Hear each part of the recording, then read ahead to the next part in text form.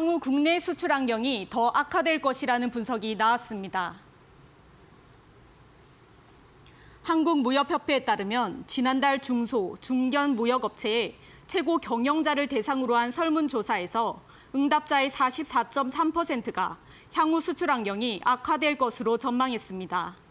개선될 것이라는 응답은 23.3%, 현 상태로 유지될 것이라는 응답은 32.4%였습니다.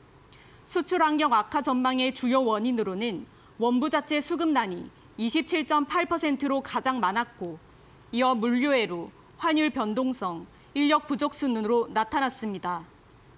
무협은 이번 설문조사 결과를 토대로 무역업체들의 의견을 담은 정책 지원 보고서를 산업통상자원부에 전달했습니다.